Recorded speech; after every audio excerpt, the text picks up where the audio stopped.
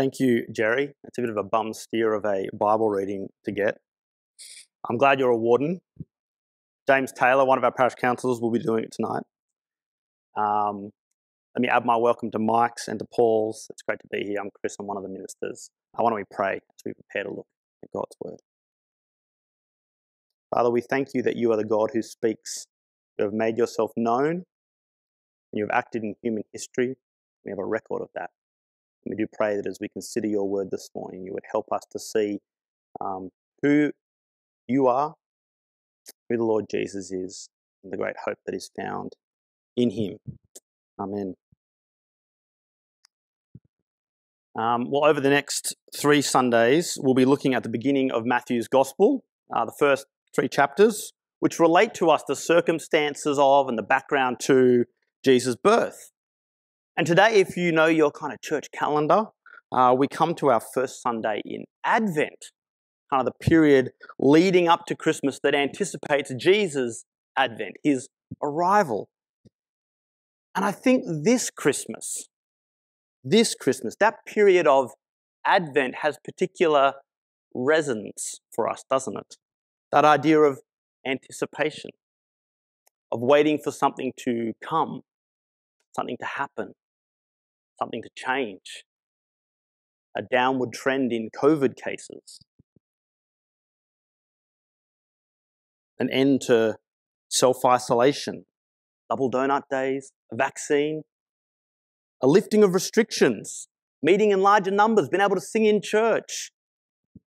And whether we're here in Australia, where things, as Tonga uh, said, are kind of returning to some form of normal, or whether we live in the northern hemisphere where things are very much not normal at this time of year, Christmas 2020 will be observed by a weary world.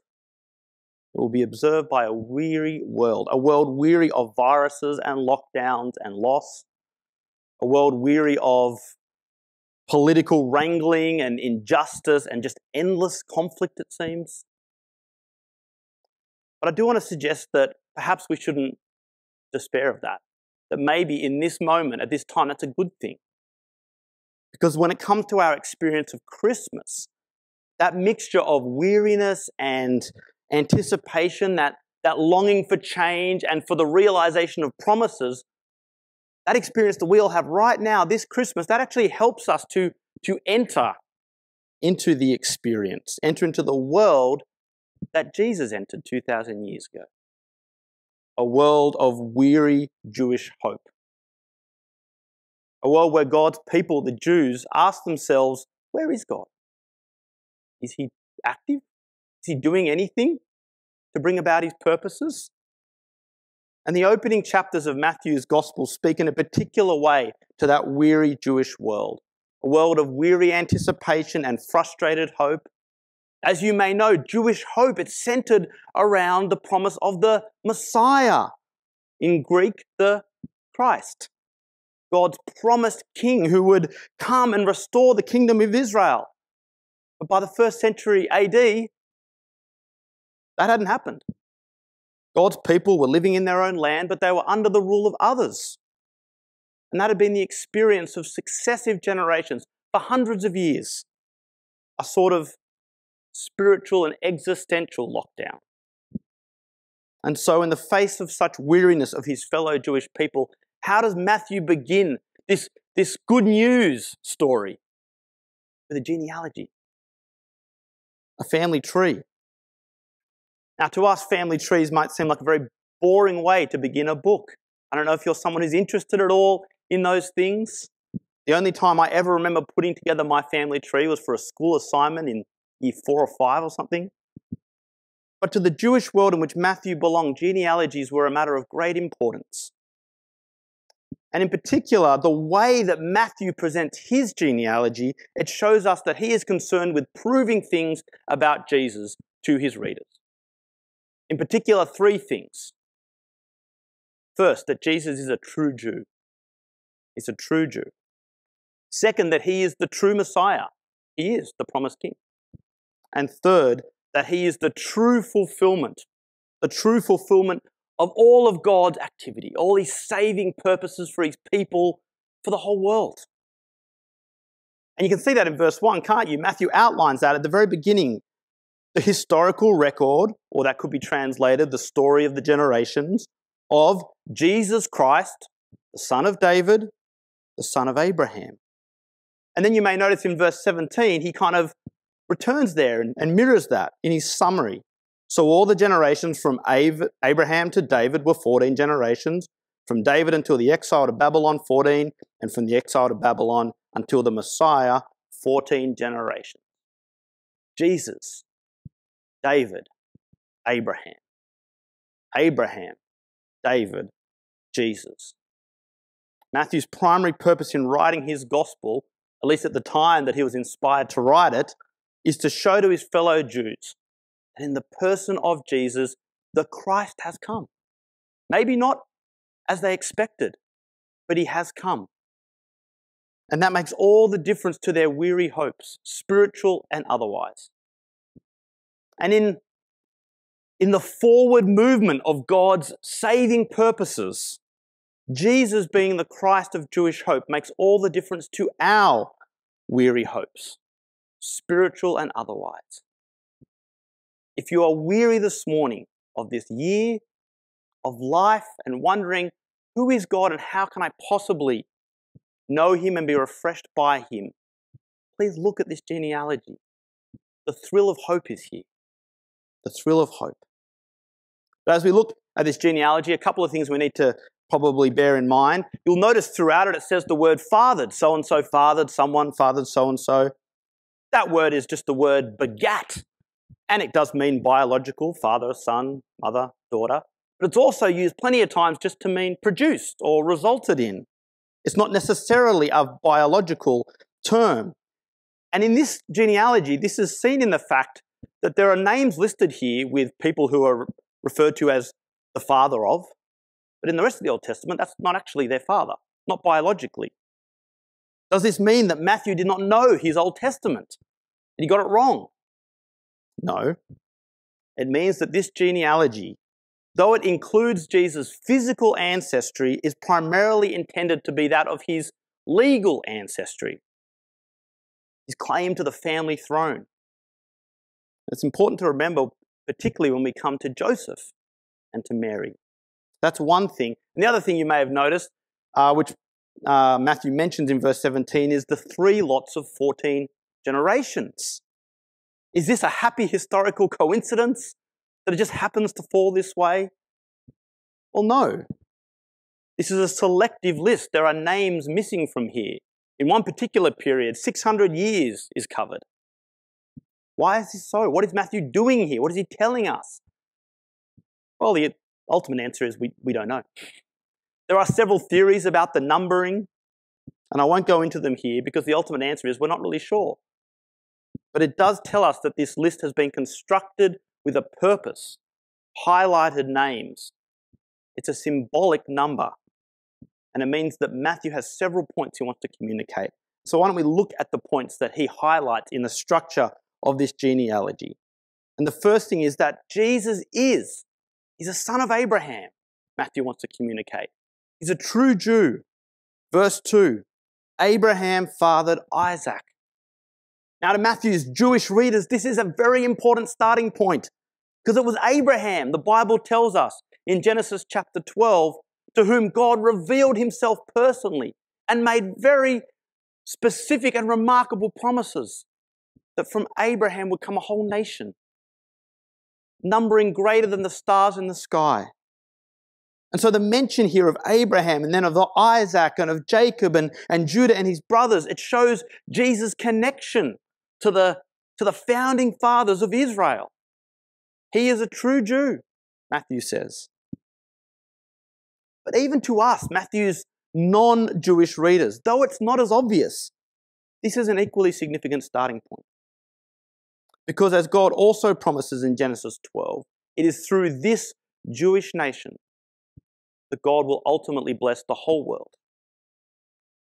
And in the New Testament, many places, but one place in particular, in the letter of the Apostle Paul to the church in Galatia, in Galatians chapter 3, Paul writes that all who have faith in Jesus are children of Abraham. And so if you call Jesus Lord today, if you bow down to him as Christ, as Savior, as King, and God's promises to Abraham, his promise to know the true and living God, and to be able to live as one of his people with all the hope now and into the future that that holds, that applies to you. That applies to you. And it starts with Jesus being a true Jew. But he's not just a true Jew. He's also a son of David, and that makes him the true Messiah, Matthew says. In verse 6, we read, Obed fathered Jesse, and Jesse fathered King David. And I really do think that, that King David and the whole stuff around him, this is the main focus of Matthew's genealogy that Jesus inherits David's kingship. And because the family connection with David, it needs to be established as legitimate. You may notice that that whole second and third section is devoted entirely to tracing the royal line. So, verse 6 Then David fathered Solomon by Uriah's wife. Solomon fathered Rehoboam. Rehoboam fathered Abijah. Abijah fathered Asa, and so on. And this second section, it climaxes in verse 11. And Josiah fathered Jeconiah and his brothers at the time of the exile to Babylon. The exile to Babylon. Even as a first century Jew, the exile would have just loomed so large. That time when the Babylonian Empire came in, took over Israel, deported most of its population back to Babylon. An empire that was subsequently conquered by other empires, Greek and now Roman. The exile was essentially the end of David's line, at least as far as meaningful rule is concerned. And to the, you know, to the discerning reader, this naturally produces a tension point. What does it mean for the rule of David's family to continue if they're no longer ruling? Because the line itself continues, doesn't it? Matthew picks that up in verse 12. Then, after the exile to Babylon, Jeconiah fathered Shealtiel, Shealtiel fathered Zerubbabel, and so on. But the mere mention of David's line continuing, that doesn't resolve this tension. Because God's promise to David was not just that his family line would continue, but that they would continue to sit on the throne, they will continue to rule. Not only is that not the case throughout the time of the exile and after it, by the time the first century AD approaches, that's not even looking likely at all. The only hope, the only hope is if the promised Messiah comes with power to upend the whole thing, to change everything. And of course, that's where Matthew's heading, isn't it? Eventually, he brings the family tree up to the present in verse 16. And Jacob fathered Joseph, the husband of Mary, who gave birth to Jesus, who is called the Messiah. Joseph, Mary, and Jesus, the Christmas family. It's interesting to note how Matthew refers to Joseph, isn't it? Unlike all his predecessors, he's denied something. All his predecessors in the list, they fathered someone, but Joseph is denied that action. His connection with Jesus is only by his marriage to Mary. Now, this doesn't invalidate his family parentage of Jesus in the legal sense, but it is irregular. And this irregularity, it's jarring to the reader who's been following this all the way through. And I think it's intentionally jarring. Matthew wants his reader to, to question what he means by this sudden change up. He'll go on to answer that question in the next passage, in the subsequent birth narrative that begins in verse 18. But at this point, it adds a wonderful uniqueness to Jesus' arrival, all the while placing him firmly within the holy, kosher line of Abraham and David. And so, to the first century Jewish reader living under Roman rule, reading his or her New Te- Old Testament, perhaps hearing about this Jesus called Christ, but doubtful of his kingly credentials, Matthew says, Don't doubt. His lineage is good. He's a true Jew, and his claim to the throne is rightful. Your hope for a king is no longer realized. Your hope for a king looks vastly different than what you expected. He's not a human ruler simply, he's not a military ruler. He's greater than all of those. Of course, that was the hardest thing to grasp of God's own people, and it continues to be today for all of us. Of course, that's the significance of Jesus' earthly lineage and what it tells us about his identity. He is a true Jew and a true descendant of David. But his identity is not defined solely by that. For one, it's also defined by his divine lineage. As Matthew will go on to recount in the next passage, Jesus is uniquely Emmanuel, which means God with us. He is the eternal God in the flesh. Only God Himself can truly save His people. But Jesus' identity is also defined by what He does, by the fact that what He came to do brought to fulfillment or to completion God's saving purposes for His people and for the world. Jesus is the true fulfillment of God's saving purposes. And Matthew will go on in the rest of his gospel to unpack this in a lot more detail, but he hints at it here in the genealogy. He hints at it by saying that Jesus fulfills God's vision for kingship. See, Jesus is the king that David and his descendants could never be. The true king after God's own heart. Maybe one of the reasons you don't like going into your family tree is because you've heard that there are some skeletons back there. A few of us were talking about it earlier in the week, and one staff member, I won't say who, said, You know what? In my family tree, there's an axe murderer about three or four generations back. And we were reminded that, yeah, there are things that we don't like about our family tree. And this genealogical list includes some very questionable monarchs Manasseh, Ahaz, Jeconiah, godless men who led their people away from God, ultimately into captivity spiritual ruin, material ruin. Even the decent ones, Hezekiah, Josiah, David himself, they've all got their own blemished records. In fact, Matthew includes in verse 6, if you may have noticed, a, not too, a none too subtle reference to David's most notorious sin. He's taking advantage of Bathsheba, Uriah's wife. Highlights that, Uriah's wife, with whom he committed adultery whose husband he subsequently had killed. David was a broken man. This list highlights, well, it highlights God's grace that he would use broken people and still work his purposes out through them. But it also highlights the great need for God's people to have as their king not just a fellow sinful man, but God Himself, as God always intended. Uh, and of course, that is who Jesus is. As God in the flesh, He alone was able to live a perfectly sinless life and be the model and leader God's people always needed. Jesus fulfills God's vision for kingship. He also fulfills God's justice and mercy. Matthew hints at that too here. You know, the justice of God and the mercy of God that is revealed in Israel's history in the experience of being taken into exile and then being brought out of exile. Well, that, that's revealed in its fullness at the cross. At the cross of Jesus, where Jesus, as the Christ, took on God's judgment for human sin and human rebellion.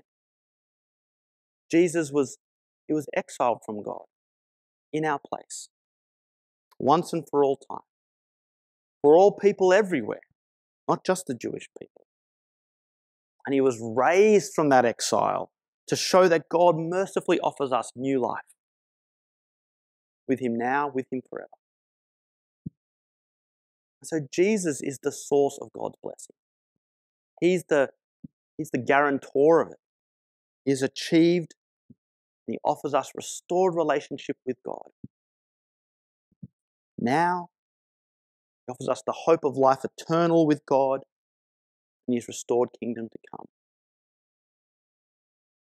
Matthew hints at that in his genealogy. Don't let it slip you by. If you are yet to come to that point with Jesus, consider the grace that, that Matthew is sowing the seeds of here.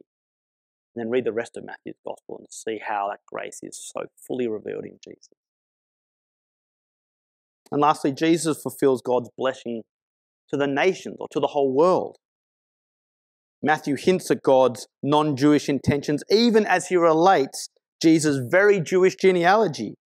I think we see this most explicitly in four of the five women who are named in this genealogy Tamar, Rahab, Ruth, Uriah's wife. I mean, the very fact that women are given places in a patriarchal genealogy is striking. What's also striking is that each of these women were likely non Jews. And yet each played a part in God's people. Each were used by God to, to further his purposes. And we don't have time to go into the detail of each woman's story, but suffice it to say that, that though they each experienced significant hardship, in some cases, abuse of power and human selfishness at worst, they each were brought into the fellowship of God's people. And they experienced the blessing of life with the one true God. And lastly, on that point, consider the, consider the bookend, the bookends of Matthew's gospel. Here we are at the opening of it, the genealogy. The Christ has come of the Jews for the Jews. But Matthew chapter 28, right at the end, referred to as Jesus' great commission to his disciples. What is that commission? Go and make disciples of every nation. Christ has come from the Jews to all people. That means us. And Matthew hints at that in his genealogy. So some, even something as seemingly dry and uninteresting as a family tree, we're shown that there is, there is hope for a weary world because it's not just any genealogy.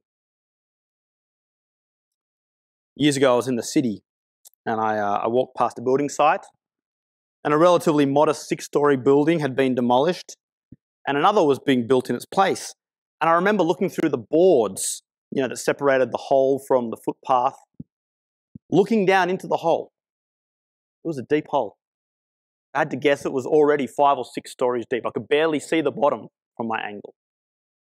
What did that tell me? It told me that a very large building was being built in its place since a very deep foundation was being dug. The bigger the building, the bigger the foundation needs to be.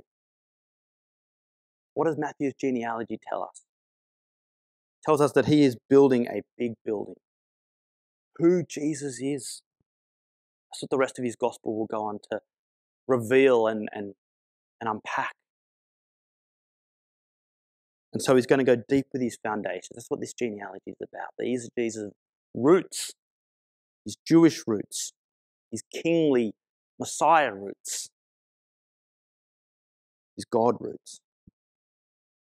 And as you come to this Christmas, with its thrill of hope perhaps tinged by weariness and ongoing worry and disrupted well being, I encourage you, reflect on Matthew's genealogy. Let it remind you that God is the God who is at work in human history. He's in control. He works out his purposes. Even if we can't see them at the time, even if they are difficult for us to experience at the time. And through his grace, he chooses to do so using human beings. Incredible. He redeems the mess of human relationships. That's something we should take from this. That if we are God's people by trust in Jesus, whatever mess our lives may be in now or have been in the past, God is in the business of redeeming that. And He uses the mess of human relationships and brokenness to bring about blessing for His own people. And if they would accept it for the whole weary world. May that be true of us, each of us here this Christmas into 2021 for the rest of our lives. Let me pray.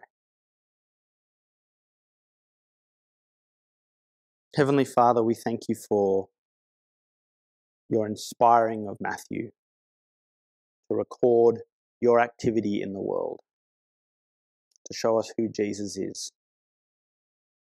I pray that for each of us here, as we wrestle with weariness and our own regrets, that you may turn our eyes to Jesus, who has done it all for us, who is the one true King.